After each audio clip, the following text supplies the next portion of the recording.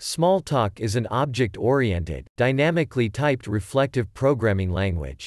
Smalltalk was created as the language in underpinning the new world of computing exemplified by human-computer symbiosis.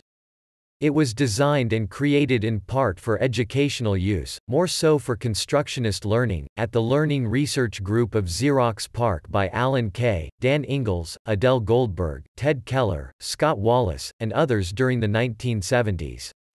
The language was first generally released as Smalltalk 80. Smalltalk-like languages are in continuing active development and have gathered loyal communities of users around them.